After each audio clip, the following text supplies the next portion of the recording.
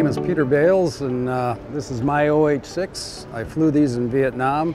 I joined the Army to fly airplanes, and my class, uh, I got booted out of the class with a couple others to the helicopter class, and I've loved them ever since. I mean, I grew up in an aviation family. My dad was a pilot. I've got brothers that are pilots, but uh, by far I enjoy flying the helicopter much more than the airplanes. And it's mainly the mission. The mission that you do is so different than just getting from A to B. You're usually doing something in between. And uh, I was thinking about how blessed I was to still be flying this helicopter on the way down here, you know, and uh, it's not, you know, I'm fortunate. I was able to put it together, I'm able to maintain it, and uh, got a few more years left in me, and it's got a few more years left in that before it goes on to the next party. This is an OH-6A. Cayuse is the name the Army gave it, commonly known as a Loach. The primary mission was scouting.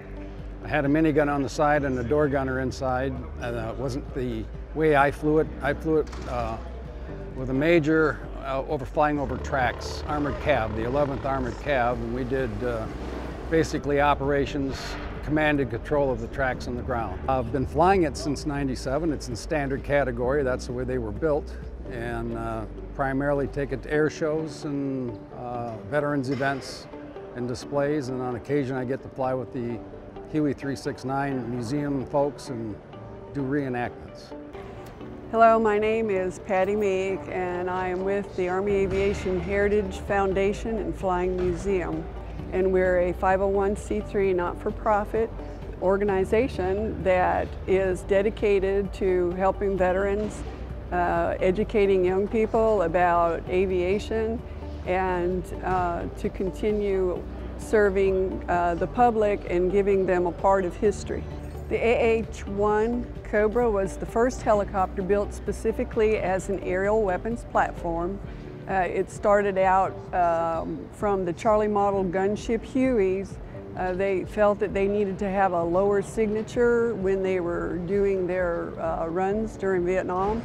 And so Bell came up with an aircraft that's 36 inches wide and was able to carry ordnance. If you look at it from the front, they, it may be broad, but once the pilot found out where the enemy was and it turned, then they could no longer see it.